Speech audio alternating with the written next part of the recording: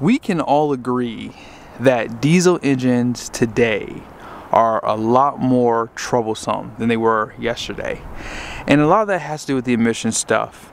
And I want to do a video on this because this is kind of like a forum. I wanted to show you guys some information I found on diesel engines. I've always known diesel engines as either IDI or DI. And if you don't know, today these diesels are direct injection. In the past, diesel engines were indirect injection. Now in this video, I'm going to discuss that a little bit and I'm going to answer the question, should these diesels go back to indirect injection? But before we do that, I got to give a shout out to these dealers because they let me borrow their trucks to do this video and they're both available. So Tim Powell's at the Ford store here. This is a F350. I think I did a video on this truck actually too. It's a Lariat with the Tremor package. It is available for sale. I'll put his information down below. Now, if you want to see pricing, here is the MSRP. Yes, it's very, very, very expensive. And it has just about every option you can get on it. Let's go ahead and check out that Chevy. I recently did a video on this truck. This is Jerry Seiner Chevrolet here in Salt Lake City. This truck is also available. And you won't see the window sticker, but I'll just call it out. $97,945. It has the AEV Bison package on it, gooseneck, power running boards as you can see. So if you want to go back and look at these videos, just go back through my channel and you'll probably see this one for sure. That one's probably probably a month ago, I would say. But let's go ahead and jump into the video and talk about how do we combat buildup in the combustion. Now most of you know that these trucks have exhaust gas recirculation. So you see these pipes here? That is pretty much a part of that system on the Ford truck. And here it is for the GM truck right here. This is the exhaust gas recirculation. I had a blue Ram truck to bring today so I could have red, white, and blue. Unfortunately, I couldn't find the keys to the blue Ram truck and that was the only one they had. So I was gonna do American theme here, but nevertheless, the Ram has EGR2. Now let's go ahead and talk about what causes deposit buildup in diesel engines. So I'm going to be reading off of fleetequipmentmag.com and here's how it starts off. It says carbon deposit buildup on diesel engine components such as piston heads, fuel injectors, and intake valves is a bigger problem than it is for gasoline engines. There's a federal requirement that certain detergents be added to gasoline at the refinery itself, but there is no such mandate for adding detergents to diesel fuel. For this and many other reasons, diesel engines are more susceptible to carbon deposit buildup.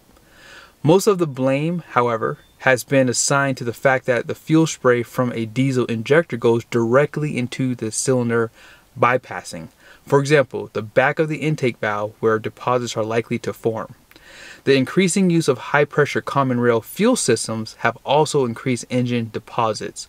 Other reasons for diesel engine carbon deposits are the use of low quality fuel, short cold weather trips, excessive idling, infrequent oil changes, and even dirty air filters. Now most of you guys remember the video I did on fuel dilution. I was aware of fuel dilution, but I did not know how much it really affected the engine oil. So let's talk about that for a second. You're telling me that your engine oil could actually build up carbon in the engine? I wasn't aware of that. So let's talk about that for a second. It says here oil affects carbon buildup in the engine in the following ways. Lubrication, cleaning, worn rings, contamination, and performance impact. So let's start with lubrication first. It says here that fresh oil helps lubricate engine components, reduce friction, and carry away contaminants, including carbon particles. Engine oil also acts as a cleaning agent, helping to remove some carbon particles. Worn rings Oil-based carbon can build up when piston rings become worn, allowing oil to leak past the rings from the crankcase. There it is.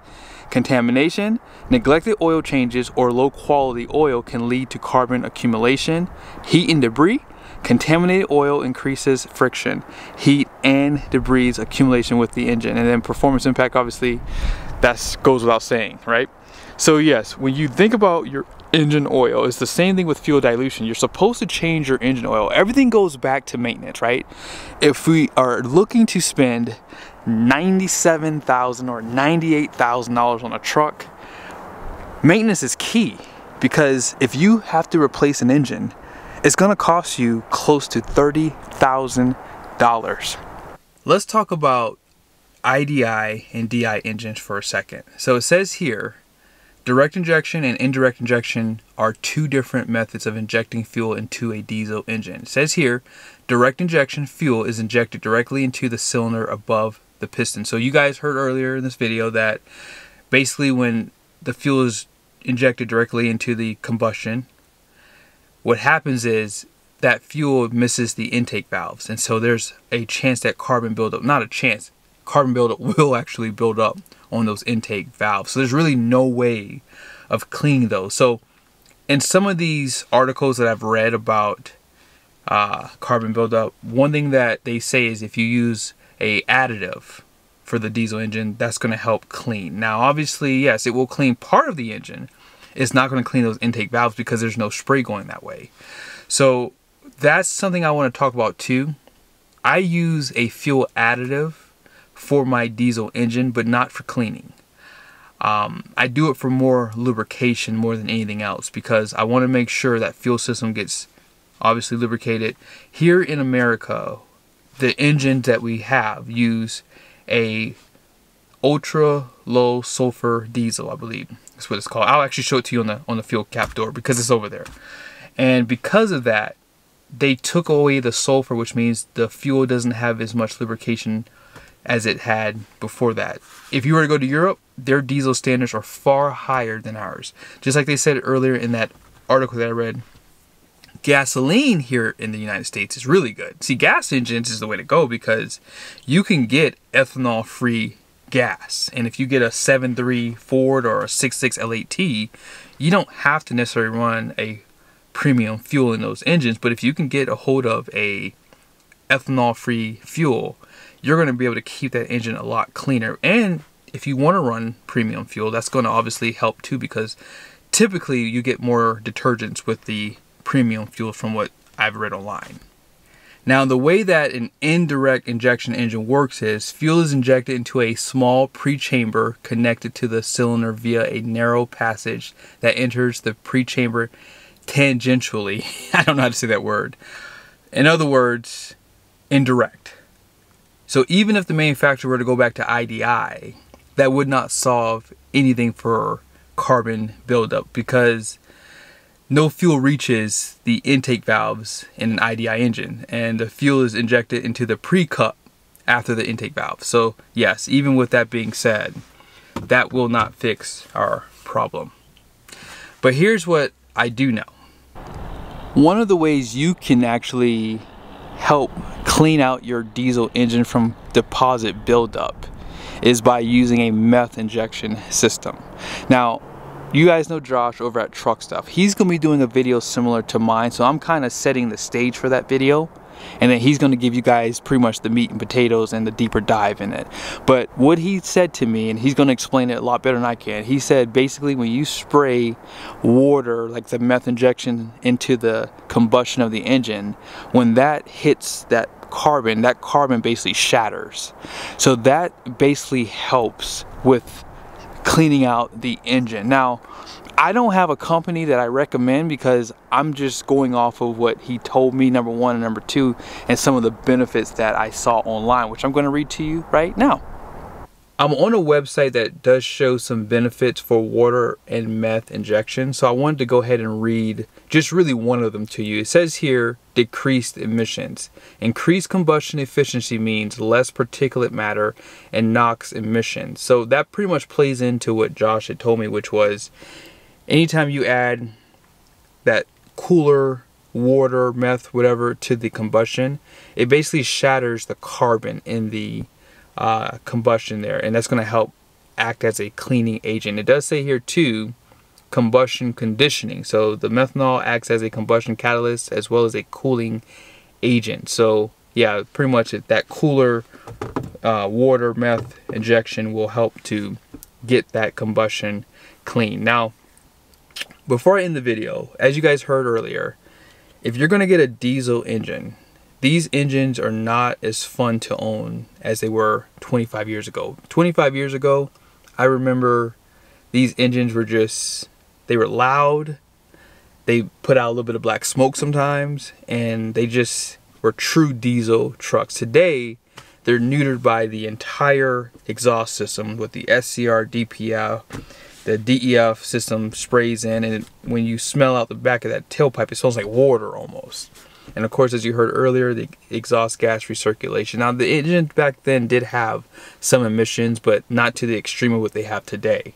And so, if you plan on buying a truck like this, you need to really drive this thing. Like, you have to get it up to those 50 plus miles an hour. You have to stay there for 30 minutes. You have to put them under load, which is really the primary reason why you buy a diesel engine anyways. If you're buying a diesel engine, you really need to put it under load. I mean, I have a chance to tow one or two of my trailers every month and I can do it for about an hour because of where I go. So it's just good to keep these engines under load or just keep them on the highway for at least 30 45 minutes.